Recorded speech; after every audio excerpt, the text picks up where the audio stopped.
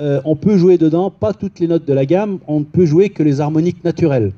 Donc en fait, on peut jouer 14 notes différentes sur 3 octaves. Alors qu'avec un autre instrument, on peut jouer euh, plus de 36 notes sur 3 octaves.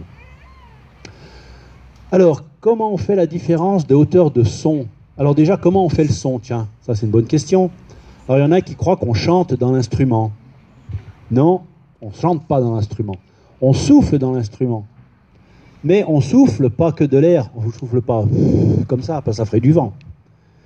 Tiens, t'as vu, j'ai soufflé, ça fait une petite brise qui s'est levée, ça rafraîchit, ça fait du bien. Alors, il faut vibrer les lèvres pour créer une vibration, comme ça. Essayez de faire, vous.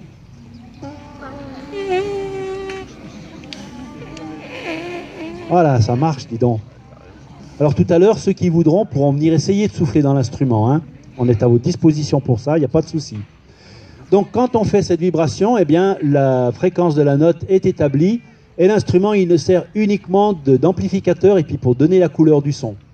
Et puis plus on va vouloir monter dans l'aigu, plus on va mettre de l'air, de la pression d'air, et plus on va pincer les lèvres. Et puis plus on va vouloir faire des notes graves, graves comme ça, moins on va serrer les lèvres et moins on va mettre d'air. Voilà, donc ça c'est un peu la technique instrumentale. Alors ne croyez pas non plus que parce que vous savez faire que vous allez être des virtuoses tout de suite. Hein. Ça demande quand même un peu de travail comme tout instrument de musique. Alors maintenant on va vous jouer une pièce traditionnelle suisse de Lukas Schmidt qui s'intitule West, West, West, Alors on a un spécialiste.